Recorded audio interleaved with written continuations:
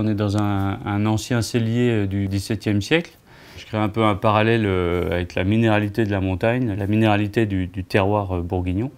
Et je fais un peu le parallèle entre le ski, voilà, c'est quelque chose, le ski qui m'apaise vraiment, euh, la montagne en général m'apaise beaucoup. Et ces deux passions qui sont, bah, qui sont nées, je dirais, en même temps, parce que je skie depuis que je sais marcher quasiment. Et je suis né vraiment dans le vin. Pour moi, c'est vraiment un équilibre entre les deux. J'ai étudié au lycée viticole à Beaune et je suis parti travailler à l'étranger, six mois en Californie et six mois en Nouvelle-Zélande.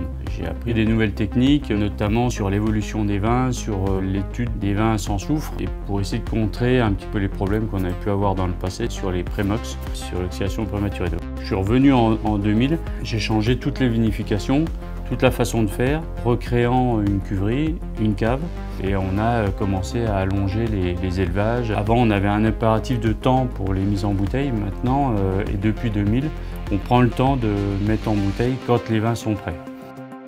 2021, c'est le plus petit millésime qu'on ait fait de loin. Euh, habituellement, on utilise entre 10 et 25% de fût neuf, grand maximum. Euh, sur 2021, bon, les volumes étaient tellement petits qu'on n'a pas utilisé du tout de, fût neuf.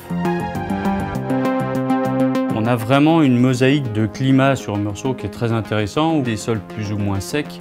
Ce manque d'eau va obliger la vigne à puiser très profondément dans le sous-sol, à aller chercher loin euh, tous les éléments nutritifs dont elle a besoin et toute l'eau dont elle a besoin.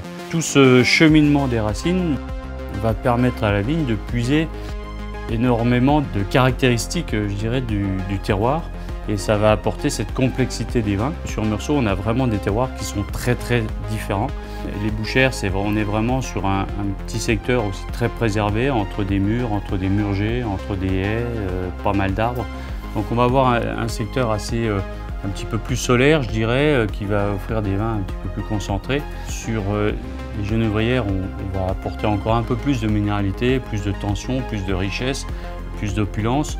Et sur les perrières, on va être sur des terroirs beaucoup plus euh, sur la minéralité, donc ça va donner des vins euh, plus tendus, plus incisifs, un petit peu moins larges et moins exubérants que ce qu'on va trouver dans les bouchères ou dans les genévrières, mais plus sur la tension, sur la finesse, sur la longueur en bouche. Qu'on essaie de préserver, c'est vraiment le terroir. Le consommateur, le client qui va, qui va ouvrir ses bouteilles, va ramener chez lui une petite part de ce terroir-là. C'est du terroir en bouteille.